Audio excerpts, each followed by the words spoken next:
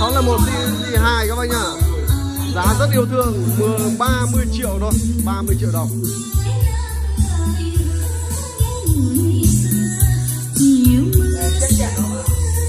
Và em test trên con âm ly ờ, uh, Winlet của uh, Hàn Quốc.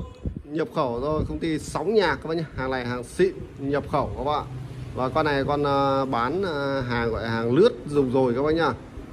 Còn uh, gần như là mới luôn đấy, con này thì Ngọc Quang chia sẻ với các bác là nó sẽ hơn con 506 nhập khẩu rất nhiều.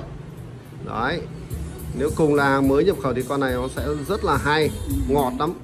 Đây nha nó có cái nút này là tác dụng ạ, equalizer này.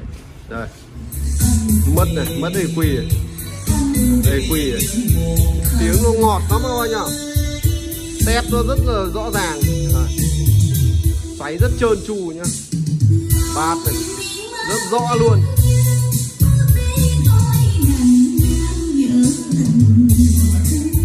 Tiếng nó êm lắm các bạn.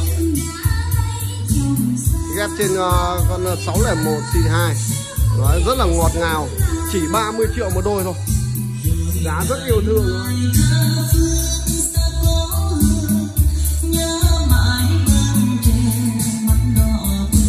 đời ba cọc các bác nhá. Đời đời uh, cao nhất rồi là 601 C2 giá chỉ 30 triệu tại Ngọc Quang Bắc Giang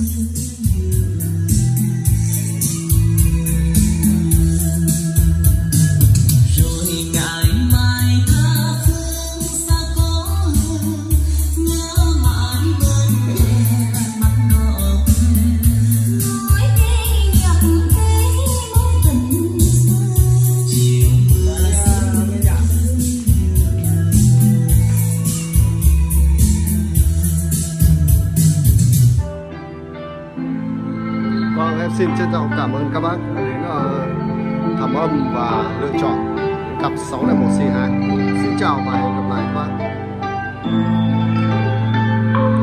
Vâng, bên em đang có sẵn nhé. Các bác có nhu cầu liên hệ với với Ngọc Hoàng theo số máy này nha.